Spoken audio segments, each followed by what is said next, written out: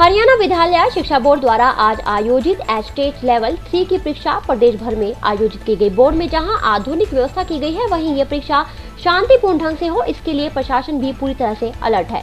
परीक्षा को देखते हुए धारा 144 लागू की गई है ताकि किसी भी प्रकार का बाहरी हस्तक्षेप न हो।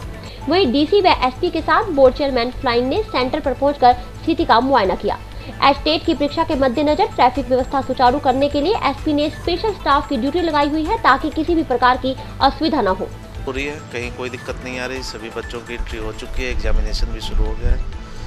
आ, हम लोग सभी लोग हमारी तरफ़ से भी ड्यूटियाँ ड्यूटी में स्टेट की लगाई गई है फ्लाइंग स्क्वाड है। आ, मैं और एसपी साहब दोनों खुद घूम रहे हैं। स्टेट की परीक्षा के मद्देनज़र भिवानी जो शहर में जहाँ बीस सेंटर बीस सेंटर में एग्ज़ाम हो रहा है, वहाँ पर हमने पुलिस विभाग की तरफ़ से पुख्ता बंदोबस्त किए हैं।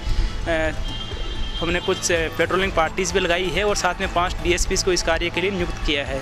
साथ में हमने ये भी सुनिश्चित करने का प्रयास किया है कि ट्रैफ़िक की भी व्यवस्था ठीक ठाक हो और पब्लिक को भी बिल्कुल कम परेशानी हो इस दौरान। आज स्टेट लेवल तीन की परीक्षा है। तीन सौ अड़तीस परीक्षा केंद्रों पर एक, लगभग एक लाख तीन हज़ार विद्यार्थी परीक्षा दे रहे हैं।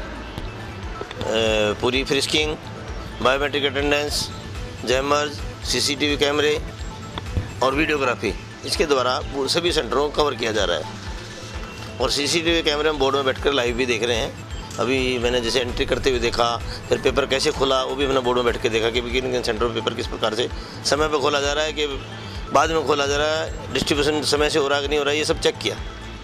तो पूरी चाक चौबंद व्यवस्था है, प्रशासन की भी पूरा सहयोग मिल रहा है और अच्छी परीक्षा हो रही है। बच्चों के उज्जवल भविष्य की हम कामना करता हूँ। रिपोर्ट प्रथम तहलका